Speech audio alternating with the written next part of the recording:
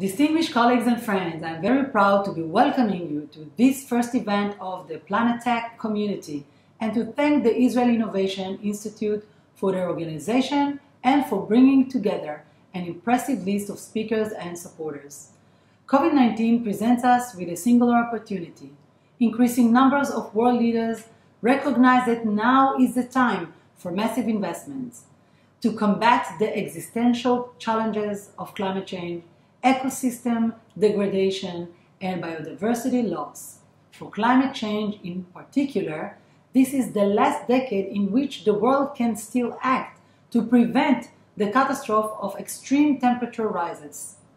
Countries which fail to act will soon be left behind. I deeply believe that Israel must not just keep up with the green transformation, we must lead the way.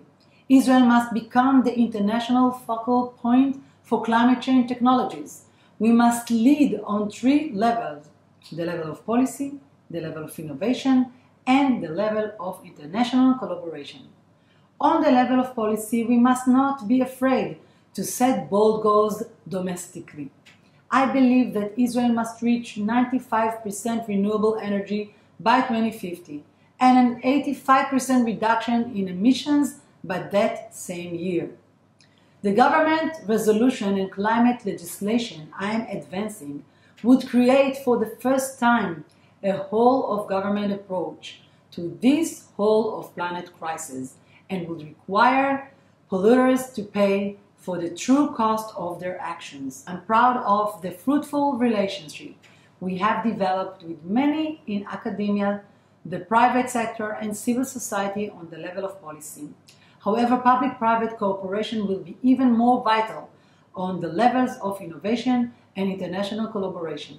That is why Planetech is so important. By supporting open innovation, Planetech can help ensure that a green revolution does not come at the expense of economic growth, but that it is the engine of economic growth that leads to a greener and healthier future and leaves no one behind.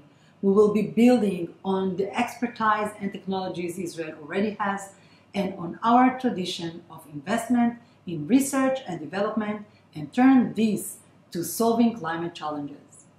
For example, my ministry continues to invest together with the other government partners in setting up an innovation laboratory and pilot facilities for clean tech startups to help ideas become marketable.